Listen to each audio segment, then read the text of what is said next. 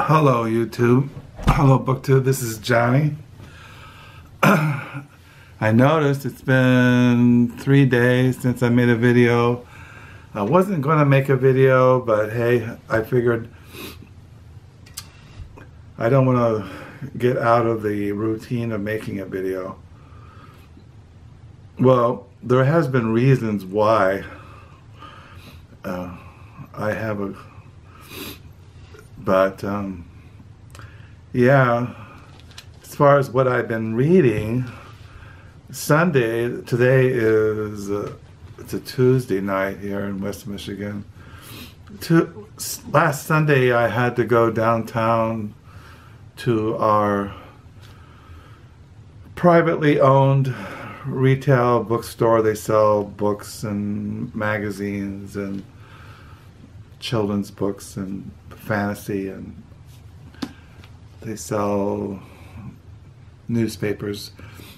So Carol wanted me, my wife wanted me to go down down Sunday and get Sunday papers. so I went downtown Sunday. Carol came back Monday evening around 5.30 she got in from Denver into Grand Rapids. And when I was at Reader's World, they had this book 50% off, this novel, and it was on my list. It's been on my radar for a while. So I bought it, and I've been reading this Sunday, Monday, Tuesday. Ohio, a novel by Stephen Markley. So I've been reading this, and uh, when I'm in the right presence of mind, I read it yesterday at the Book Nook, I volunteered at the Library Used Bookstore. I read it. Uh, I read it last night before I went to bed. Uh, I read some of it today. So this uh, novel, Ohio, has been all over BookTube. People have done reviews about it, and uh, thus far, I've it's not blown me away. It reminds me of that novel I was reading by Carolyn Chute, The Merry Men it kind of reminds me of that. Uh, a novel about people who live in a small town that has basically gone into decline and the people are, are on drugs and the people are hopeless and all the stores are boarded up and there's this sense of desperation among the people so i was reading that I have coming this week volume two of the Theoretical Practical Theology. I mentioned that I had pre ordered it, and I got an email from Reform Heritage Books that they are, they sent it. Reform Heritage Books is just in Grand Rapids, so it should come sometime this week. So, but I've been reading a little bit of this off and on since I got it last year yeah, this was published in 2018. It's translated out of the Latin by Todd M. Rester. Petrus Van Mastricht, Volume 2. I think this is going to be a six volume set when it's completely published. It's never been translated, the whole thing. So it's kind if you're really into classical Dutch Reformed theology, it's, it's a must and I've still been reading uh, Joseph Alsop's memoirs. I've seen the best of it, memoirs. I read this, and I'm still reading the Reformation commentary on Romans 1 through 8. I am on Romans chapter 2, verses 12 through 16. So that's what I'm reading these are the only books I have up here now. I took everything down into the lower level. These are the books I'm going to read. Uh, I have that book on the golden age of book making and selling and the Dutch golden age over there. I kept that up here, and uh, but that's about all.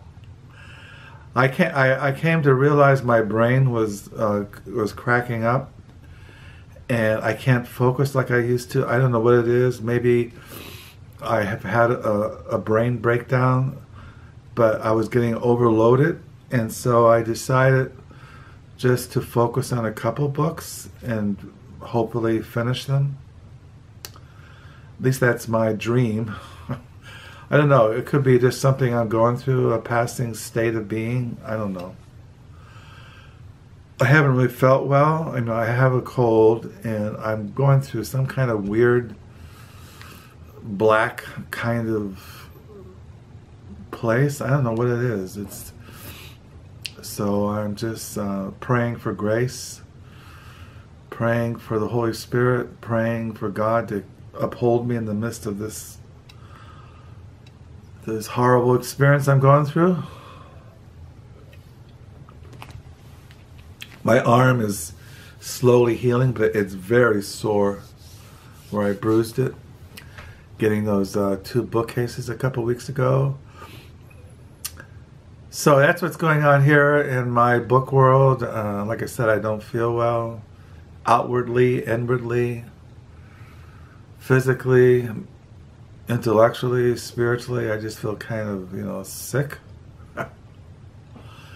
Now, I don't want a lot of comments. I'm just telling you, I'm just being out front, I'm just being honest, but I don't want any kind of, you know, I'm sorry you feel bad. You know, just the, you know, it's with me. It's normal. I go through these states, and you know, I'm 60. I'm going to be 67 years old, and I've gone through a lot of shit in my life.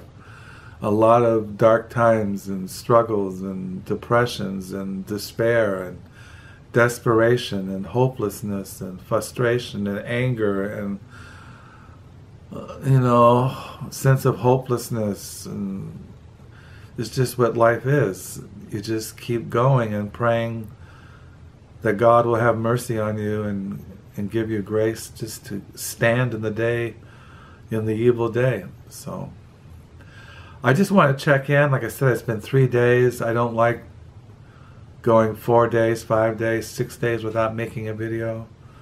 So I just thought I'd just, hey, let it all hang out, be real, being honest, be forthright, let it all hang out. So I hope you're having a good week. Uh, it's a Tuesday night here in, in West Michigan. It is 10.01 at night. Tomorrow is a Wednesday, June the 5th. I plan to spend the day in silence, praying, praying for healing, uh, my wife is working tonight and works tomorrow night, and uh, so I just, you know, just wait it out. You know, look to the Lord. So I'll sign off. I'll download this video, and uh, till next time, bye.